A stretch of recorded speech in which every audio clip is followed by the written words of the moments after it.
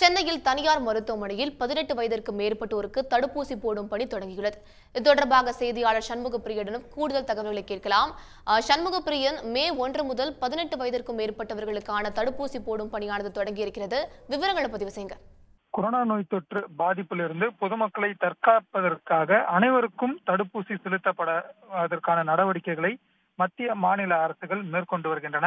இதையொட்டிதான் பதினெட்டு வயது முதல் நாற்பத்தி நான்கு வயது வரை உள்ள குறிப்பிட்ட அந்த பிரிவினருக்கு மே ஒன்றாம் தேதி முதல் நாடு முழுவதும் தடுப்பூசி செலுத்தப்படும் துவங்கலாம் என்று மத்திய அரசு அறிவித்திருந்தது.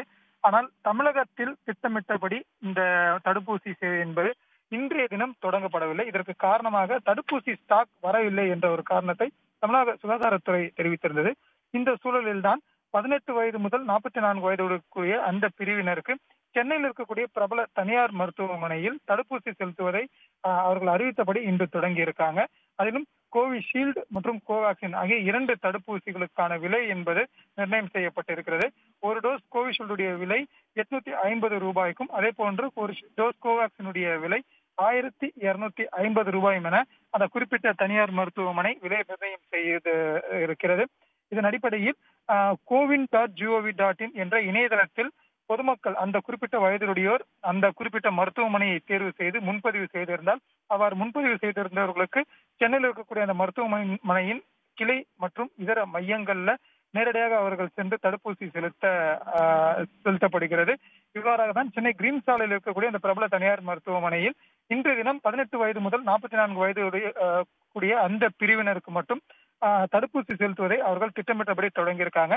இதில் கவனிக்க வேண்டிய ஒரு விஷயம் அரசு தரப்பிலும் இன்னும் அந்த அந்த வயது பிரிவினருக்கு தடுப்பூசி செலுத்தப்பட தொடங்கப்படவில்லை என்பது குறிப்பிடத்தக்கது. அதே நேரத்தில் இணையதளம் வாயிலாக பதினெட்டு வயது முதல் பதினான்கு வயதுடைய பிரிவினர் அரசு தடுப்பூசி மையங்கள்ல முன்பதிவு செய்ய இயலாத ஒரு நிலை இருப்பதாகவும் தொடர்ந்து தெரிவித்து வராங்க. ஆனால் தனியார் மருத்துவமனைகளில் மட்டும் இன்றைய தினம் இந்த தடுப்பூசியானது அந்த குறிப்பிட்ட வயது பிரிவினருக்கு தொட- செலுத்தப்பட்டு வருகிறது. சண்முகப்பிரியன் தமிழக அரசு சார்பாக ஒன்றரை கோடி தடுப்பூசி டோஸ்கள் ஏற்கனவே ஆர்டர் செய்யப்பட்டிருப்பதாக ராதாகிருஷ்ணன் தெரிவிச்சிருந்தாரு. எப்பொழுது அந்த தடுப்பூசிகள் தமிழகம் வர இருக்கிறது? அரசு மருத்துவமனைகளில் இந்த பணி எப்போது தொடங்கப்பட இருக்கு? ஆஹ் தற்போதைய நிலவரப்படி தமிழகத்துல சுமார் ஆறரை லட்சம் தடுப்பூசிகள் தான் ஸ்டாக் இருப்பதாக பொது சுகாதாரத்துறை தரப்பிலிருந்து தெரிவிக்கப்பட்டிருக்கிறது. இருந்த போதிலும் நாற்பத்தைந்து வயதுக்கு மேல் இருக்கக்கூடிய அனைவருக்கும் அதாவது அறுபது வயதுக்கு மேற்பட்டவர்கள் இணை நோய் உள்ளவர்கள் மற்றும் நாற்பத்தைந்து வயதுக்கு மேல் உள்ள அனைவருக்கும் தடுப்பூசி செலுத்தப்படக்கூடிய நிகழ்வுகள் என்பது ஏற்கனவே தொடங்கி இருக்கக்கூடிய சூழலில் ஏராளமானோர் முதல் டோஸ்களை செலுத்திக் கொண்டு இரண்டாவது டோஸ்களுக்காக காத்து கொண்டிருக்கின்றனர்.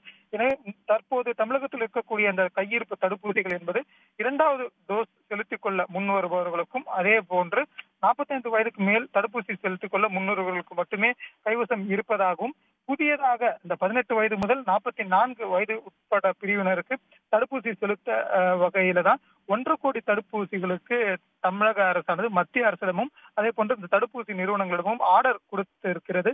ஆனால் அந்த புதிய ஸ்டாக் என்பது தமிழகத்திற்கு தற்போது வரை வரவில்லை என்ற காரணத்தின் அடிப்படையில் தான் இந்த குறிப்பிட்ட வயது பிரிவினருக்கு இன்றைய தினம் திட்டமிட்டபடி அவர்கள் தடுப்பூசி செலுத்துவதை தொடங்கப்படவில்லை.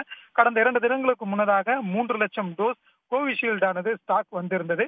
அவ்வாறாக வந்திருந்ததையும் சேர்த்துதான் தற்போது தமிழகத்தில் ஆறரை லட்சம் தடுப்பூசிகளானது கைவசம் ஸ்டாக் ஆனது தயாராக இருக்கிறது.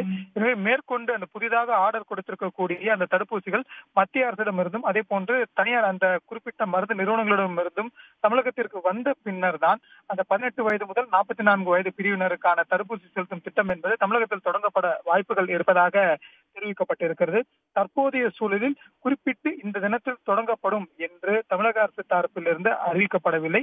அதற்கு மாறாக ஸ்டாக் வந்த பின்னர் தொடங்குவோம் என்றுதான் தெரிவித்திருக்கிறார்கள். எனவேதான் அந்த குறிப்பிட்ட அந்த பதினெட்டு வயது முதல் நாற்பத்தி நான்கு வயது பிரிவினர்களுக்கு தடுப்பூசி எப்போது செலுத்தப்படும் என்ற கேள்விக்கு பதில் தெரியாமலே பொதுமக்களும் குழப்பத்தில் தொடர்ந்து ஆழ்ந்திருக்கின்றார்கள்.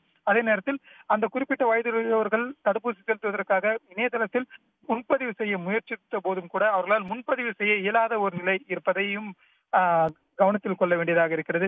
எனவே தமிழக அரசு பதினெட்டு வயது முதல் நாற்பத்தி நான்கு வயது உடையக்கூடிய அந்த குறிப்பிட்ட பிரிவினர்கள் அதிக எண்ணிக்கையில் இருக்கக்கூடிய அந்த பிரிவினருக்கு தடுப்பூசி செலுத்துவதை விரைந்து தொடங்கப்பட வேண்டும் என்பதுதான் பொதுமக்களுடைய எதிர்பார்ப்பாகவும் இருக்கிறது. உங்களுடைய தகவலுக்கு நன்றி சண்முகப்பிரியன். உடனுக்குடன் செய்திகளை தெரிந்து கொள்ள சன் நியூஸ் பெல் ஐகானை கிளிக் பண்ணுங்க.